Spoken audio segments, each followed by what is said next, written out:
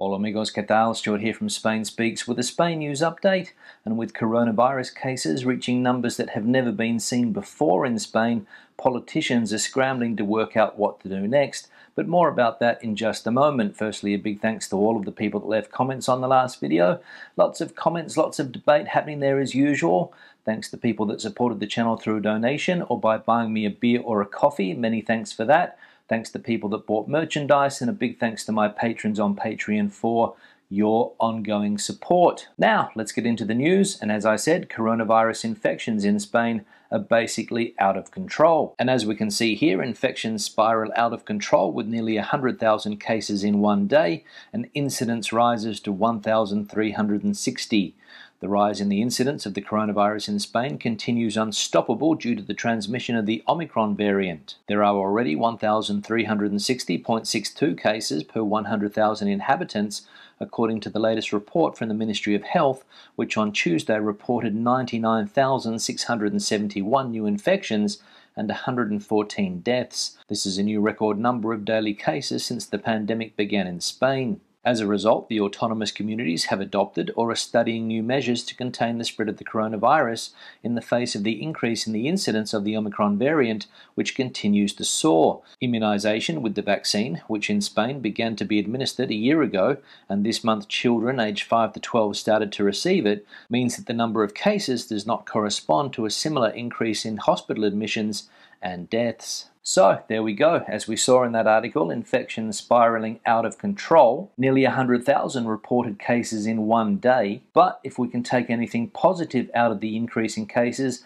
it is that hospital admissions are not rising as they were in previous waves in Spain. Now, with the increase in infections, politicians in Spain are scrambling to work out what to do. And one of the main things they're looking at is shortening the amount of time people need to spend in isolation if they contract the virus. As we can see here, the Health Ministry and the autonomous communities study shortening the isolation of those positive for the Omicron explosion. The Ministry of Health and the autonomous communities will discuss this Wednesday at the Interterritorial Council meeting the reduction of the isolation of COVID positive cases, three health sources have confirmed to El País. Final decision, which will have to define points such as the new duration of the measure, or whether it will be indicated for all citizens or only for those with the full vaccination schedule, will have to be adopted by the Public Health Commission following the proposal of the experts of the Alerts panel.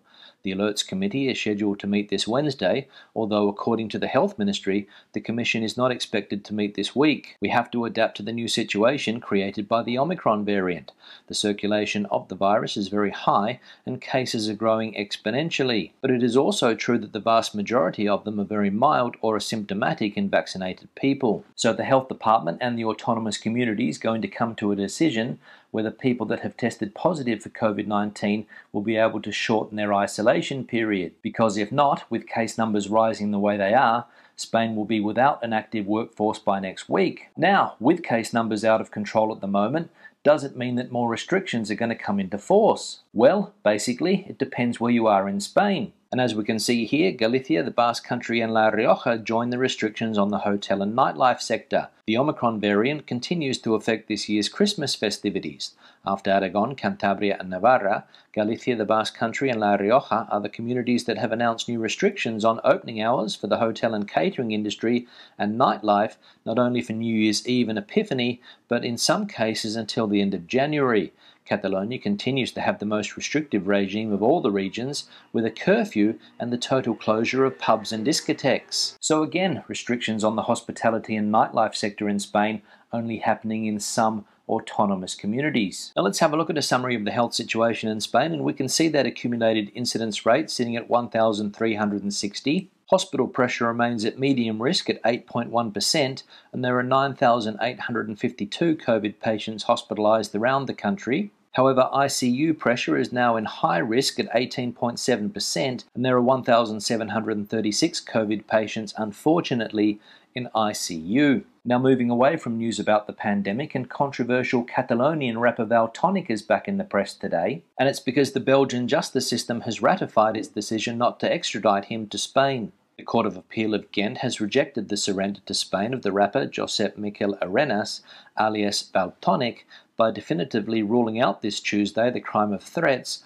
after having previously dismissed the charges of insulting the crown and glorification of terrorism, for which he is also wanted by the Spanish justice system. This confirms the initial refusal of the Belgian judges not to extradite him. In October, the Belgian Constitutional Court stopped Valtonyc, who was sentenced by the Audiencia Nacional to three years and six months in prison for insulting the king and praising ETA and the Grapo in his songs, from being handed over to Spain. So Valtonyc lives to rap another day, albeit outside Spain. And another ruling going against Spain's justice system. Now, in the middle of the worst pandemic in living memory, the Spanish government yesterday decided that it would be a good idea to decorate 23 former ministers. And as we can see here, the government decorates 23 former ministers, including Gallardón, Pablo Iglesias, Abalos, and Maxim Huerta. The Council of Ministers on Tuesday approved royal decrees to award the Grand Cross of the Royal and Distinguished Spanish Order of Carlos III to 23 former ministers of governments led by the PP and PSOE, including Alberto Ruiz Gallardón, Pablo Iglesias, and Jose Luis Abalos. The government usually awards this decoration to former ministers, the highest honorary distinction among Spanish civil orders, and whose aim is to reward citizens whose efforts, initiatives, and work have rendered eminent and extraordinary services to the nation according to the regulations. So, there we go, the government deciding to decorate 23 former ministers from both the PSOE and the PP political parties. And let's be honest, I can understand people like Ruiz Gallardón or Abalos being decorated, but Maxim Huerta? And finally, the story of the Spanish singer Carlos Marin of Il Divo fame, who unfortunately died last week in a Manchester hospital from COVID complications. And according to his family, if he had been in Spain, he could have survived. A fortnight after his admission to the Manchester Royal Hospital, Carlos Marin of band Il Divo died after contracting COVID 19. Early last week, his sister Rosa confirmed that the singer had contracted the Delta variant, which had fatally affected his lungs, leaving him in an induced coma in the intensive care unit of the hospital. Alberto Martin, Carlos Marin's lawyer, who helped the Spaniard take a craze fan to court in September after she wrote a series of letters described as highly sexual and left him enduring sleepless nights with death threats, told the Daily Mail I spoke to his mother on the day he died, and she was saying that she was convinced that if he had been in Spain, he could have survived. So Mr. Marin's family critical of the Manchester hospital where he unfortunately passed away, and they think that he would have been better cared for and possibly would have survived if he had been in Spain. But honestly, who knows? Now let's have a look at some of the comments from previous videos. One here from Mike, Feliz Navidad Stuart, hope you have had a good Christmas managed to escape the hysteria of the Johnson regime and successfully arrived in Murcia. The sun is shining, 75 degrees Fahrenheit here today, Monday. Plane was three quarters full, so I guess a lot of people had the same idea. The paperwork is not too bad for getting in if you can prove vaccination status, and at least it's free. Yeah, Mike, thanks for the comment, and good to see that you have escaped the UK and have made it to Murcia. And as you said, the sun is shining. What more do you need? In fact, I read today that it's going to be one of the warmest New Years on record, so that's something to look forward to also. So I hope all goes well and you enjoy your holiday in that wonderful part of Spain that is Murcia. One here from Anne. It would be interesting to know what proportion of people in Spain support the monarchy. I remember taking a girl from Galicia while on holiday in Ibiza a few years ago, and she didn't have a good word to say about them. Mind you, she was equally scornful about Andalusia, disliking the bullfighting traditions and various other activities associated with the area. It was fascinating listening to her because it was probably the first time it became clear that there are big differences between some of the autonomous communities. And thanks for the comment, and you're right, there are some big differences between autonomous communities in Spain, especially between the ones in the north and the ones in the south. I've also met people from the north of Spain that are not happy that traditions like bullfighting get so much publicity. And when it comes to the royal family, you can also find a lot of anti royal sentiment, especially in some of the autonomous communities that won independence from Spain, for example, Catalonia or the Basque Country. So different ideas, different opinions on things according to where you are in the country. One here from Harry, wishing you and your family every good wish for Christmas and New Year. The work you put in to produce your daily blogs is very much appreciated. Love the way you put down those that pass criticism. Aussies do it best of all. Now cricket. Having been involved with a well-known Australian sports company for over 20 years, now long retired, I have special interest in the Ashes. Can the boys, England, beat the men at Melbourne? Always look forward to your daily vlogs. Keep up the good work. Brian from Andalusia.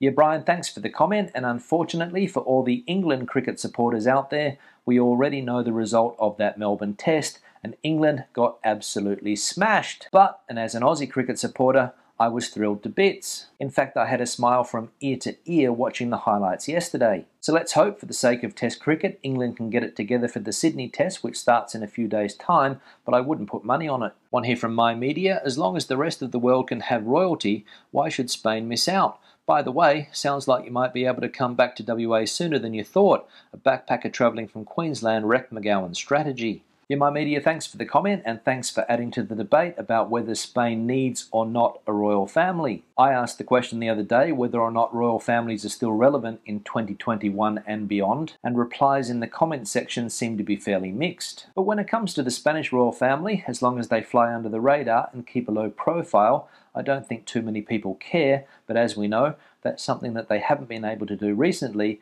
and they've been in the press for all the wrong reasons. When it comes to Western Australia and Premier McGowan's COVID strategy, he does seem to have a lot on his hands at the moment with five recorded cases, all caused, I believe, as you mentioned, by a backpacker that flew from Queensland to Western Australia. And finally, one here from Alan. Feliz Navidad, Stu. Thank you for all your videos for 2021. Looking forward to your videos for 2022. Keep safe, Merry Christmas, and a Happy New Year too. Yeah, Alan, thanks for the comment and glad that you like the videos that I have put out in 2021. And don't worry, plenty more content on the way in 2022. I also hope that you and everybody out there had a wonderful Christmas period, and I wish you all a happy new year and a safe 2022. And Mia would also like to wish everybody a fantastic 2022. On that note, I'll wrap the video up. Questions and comments, please leave them in the section below. Debate the video out as you normally do. Give it a thumbs up if you liked it, thumbs down if you didn't.